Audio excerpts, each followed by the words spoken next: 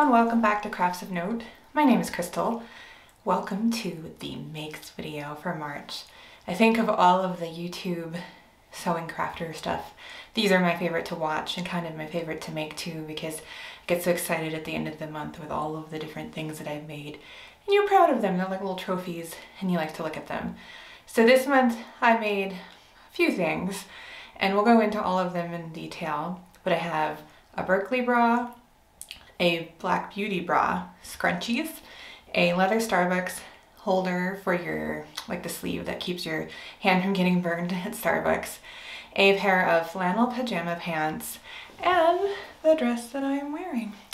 So let's start with the dress since I am wearing it and we can talk about it. So this dress here is Vogue 9252 and I have really good footage that I'll put in now. But basically, I made it straight size 22 in the Telio Cotton Bloom sateen here that I have put in other previous videos with this pretty pink and orange and yellow like sunset color tulips on it that are like a paint view. And then from there, when I made it, the bodice was very big. It even still is, you can see, but it fits a lot better now. So I actually took in the sides, about three quarters of an inch on each side seam in a dart shape, kind of like tapering down the amount I took out as I got near the waistline. And then the waistline is was really low. I am five foot 10 and it was an inch below my natural waist. And usually I have the opposite problem is it's too high on my waist. So between that and being too big and like sitting really long, the bodice looked really weird and it gaped funny because the apex of the, uh, the cup sewing didn't work. So I also ended up taking a scoop right here out of the neckline because I made my straps really short. You can see that they don't connect they're only a few inches long. So I made my straps really short to pull this up so that it fit right and a little smaller. And then on the scooping, it's supposed to be straight in the real pattern, but I scooped it because otherwise it was kind of hitting me like this and that was kind of uncomfortable. It didn't look good either. So just into my own little hack here. And I moved this down a little bit here because otherwise it, the points that the straps connect to would have been up here.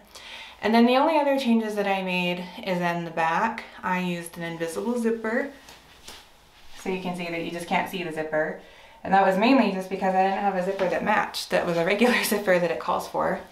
And then on the hem, I didn't do the double fold hem. I did a sat white satin bias binding hem, which you can see I'm holding up here. Kind of cool. It blends in really nicely and it helps to give a lot of body to the dress. When I first tried it on before I did the hem because I wasn't sure if it was going to drop, it didn't have a lot of body, it kind of fell flat. And then you'll see as you look at all the footage and the pictures that it, it gets a lot of body and it holds out really nicely. It's really fun to wear actually because you can spin in it. And I love it and I think it's super fun. It's great for spring, great for summer. It's a great Easter dress actually considering Easter is tomorrow as of when I'm filming this. And I think the pattern is great and super cute with the high-low hem. So let me know what you think of this dress. Would you make it? The first bra I made this month is the Berkeley bra from Orange Lingerie, which is designed for all stretch lace. And this is a new to me pattern I got for Christmas and the first time I've ever made it. And I actually really like it a lot. And I think it came out gorgeous with this teal lace with the silver metallic floral part in there. And then I got these findings from Bra Builders and they match perfectly. They're like just like an off-white bluish color and it works perfectly with the colors of the bra. I made a 40B with no adjustments yet so that I could have a tester for fit and I did everything else as written in the pattern for the most part. You can look at the other side here. I lined it with sheer cup lining in a nude and then I did matching power net and matching elastics. I would say I sewed this with regular Gutermann all-purpose thread and I had a miserable time with skip stitches. I used my Microtex needle like I always do, but this has made me want to get Gutermann Mara 120 for everything because it sews much better with uh, bra making, especially, oh man, sewing the hook and eyes. they are a hot mess because they did not want to sew for some reason. They were awful. Anyway, the bra itself though is good. Got some mistakes because it's my first one. There's a little off center here, but you can't tell from the front of the bra. And I'd say overall the fit is pretty good for me. It's comfortable. Definitely compared to the Boylston bra, the band was fine. On me, the Boylston bra was so tight, it felt like someone was squeezing my ribs like a corset, if not worse. And so this one is fine though. Same company, same pattern. So I would check before you adjust each one always. And then I might have to take out some volume from the top cup, which I tend to have to do anyway. I have a low top cup volume. And on this one, it's only, you don't line the lace. So you stabilize it with sheer or clear elastic, but it gapes a little tiny bit. So I might take a little bit of volume out of the cups, but otherwise it's a good fit and I think this one is really pretty. I like it a lot. I'm very happy because teal is my favorite color and I think this bra is just so pretty. The next bra that I made this month is another Black Beauty bra and this is using a kit that Emerald Erin sells. She's known for having the black tulle with the V's and I think that the nude color is kind of new but I really liked it a lot. I thought it was really cute and it was a great way to have a nude bra but that was still kind of cool and I think it looks really cool and then I went to Joann's and I bought another honeybee with a little sparkle jewel in the middle to put as an accent. Everything set up beautifully.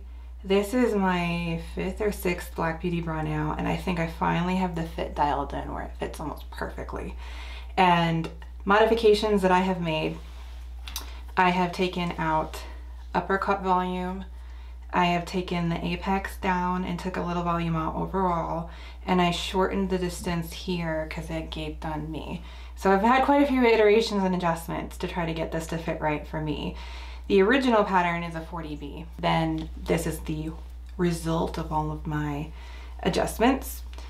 I love how this is sheer too. I think it looks so cool. So all of the findings match. These are all from Emerald Erin. This is view A, the one that has the fold over elastic straps. And here's the look at the other side. I think this is one of the cleanest bras I've sewed. The inside just looks great, if I say so myself. And you know, that's the hardest part is a lot of handmade makes, especially when you're a newer sewist like me aren't necessarily perfect at the close-up. And this one, I mean, it came out really, really good. And I really like it a lot. And I'll insert some pretty shots as well with this. I got some pretty pictures where it's more filled out on the cups because it's on my little half mannequin. But yeah, love this kit. Super cute. Go to Emerald Erin's shop and get the pattern and the kit if you haven't started one yet. Kits are the best way to start because they give you everything you need. My next sewing makes are way less exciting to me uh, one of the things I really wanted to make was a pair of pajama pants. I've never made pajama pants before, and these are the McCall's 2476. Now, for this pattern, I went exactly by the pattern's measurements for recommendations of what to make. So I think I made the extra, extra large because it, if according to the pattern, I would have had zero room at the hips if I'd made the extra large, no ease whatsoever. There's a reason these are on the table and not on me. They are absolutely gigantically ginormous, huge, comically huge, fall off my body, five to seven inches too long, huge. I'm five foot 10, so for a pattern to be that much too long is crazy. And for that too big when that's what the pattern says. So you can see some of the details though. I made it with this cute uh, flannel I got from Joann's on the mega clearance. I think I paid maybe $5 for all of it, thankfully, because I these aren't wearable. So they're canning, because I have a garden in the summer and it's all canning stuff, and I thought that was cute. And it was cheap. It has a fake bow that you just sew on. I don't know why, because the rest of it is just an elasticated waist here. And now you can adjust this as tight as you want, technically, but the whole thing is just so humongous. And I don't know if I could even make the pattern again with because it only comes in two size sets in the pattern envelope, so extra large and extra extra large. I think even if I made the extra large, they would be absolutely too big. you can see one leg there in the shot. They're very, very large. I would do what I might call serger tailoring, where I go in into the side seams or the crotch area all the way down to the legs and just take some room out. There is definitely enough that I could try to make it fit better. But I did go back to Joann's the other day and I was able to get some more of this fabric. So I try again with a different pattern. Do you have a favorite pajama pant pattern? Because I was not impressed. Let me know because I would like to make some more and I got some really cute flannel that I want to make some for, or pajama shorts because now we're getting closer to summer and it's hot here in the summer. Another sewing make I made this month was, you know, for fun, not super exciting, but kind of a scrap buster, is that I made scrunchies. I've never made scrunchies before either, and it was fun. I was using, not that you really need a pattern, right? But I was using a pattern I got for free from Green Style Creations. And actually this does not work for my hair. These are kind of disappointing because they don't work well for my hair. The size and the amount of elastic is just not stretchy enough for me to really wrap my hair around it. But you know, not everybody has hair as long and thick as mine. So a lot of people this would be just fine. But I had extra royal blue crepe back satin. So I used that for one. This is part of that peacock blue velvet I had left from that dress I made in January. So that's kind of cool. I thought that was nice to have a matching scrunchie. This is a music themed one. I had this left over from mask making. It's got like little metallic music notes and instruments and everything on it. And then I'm a book nerd. so this other one is a is a book theme fabric from the quilting section of Joann's. And you can see like Don Quixote and stuff in there. And I used my serger for these where I attached the elastic on the inner seam here and it stretches it for you. And I use the amount that they said. It's just not stretchy enough, that's all. Like you can see it doesn't really get that much bigger. So I would edit this, make it a little wider and use more elastic in there so that I have more stretch. And then I just inserted and sewed down. I wasn't being fancy because it's just a scrunchie and who's gonna see it once it's in your hair? I know, sometimes I guess we get lazy when we sew stuff, when you make a lot of stuff especially. The finer details might go. The next make is a leather making make that I did early on this month. I wanted to use, I had this like scrap of pink leather. This is pink Pueblo leather from Badalassi Carlo. And this is from Rocky Mountain Leather Company. And this is just one of their like remnant ones that they sell cheap. I think I got a whole square foot for $6. So you can imagine that, or maybe it was like half square foot, something like that pretty cheap. And it was, I think, four ounces thick. And I used bright green thread to sew it, which I thought would be fun with the pink. And then I kind of tried my hand at doing this kind of hot stamp here. I put a treble clef on it. And the treble clef worked pretty well. It's where, I think there was someone on YouTube who suggested that if you had the stamps that you could heat them up with a hair dryer and then hammer them and they could still work kind of like a hot stamp because I don't have a hot stamp because they're very expensive. And I'm gonna actually do a tutorial on how to make one of these really easily yourself if you're a beginner leather worker this month. No pattern needed unless just a trip to the Starbucks. And this is fine. I used this yesterday. This is like my actual order cup. I get the London Fogger latte when I go and I, I do a keto style. What do you guys get at Starbucks? Would you use a sleeve, a hand handmade sleeve when you go? And besides this, the only thing that I made was I have some new products in my Etsy store for musicians. So if you're a music person, go ahead and check that out. It's flute and piccolo swabs and a flute, clarinet, or oboe rest. I'll just put a link in the comments. I'm not going to show you guys that stuff, but I did make those this month as well.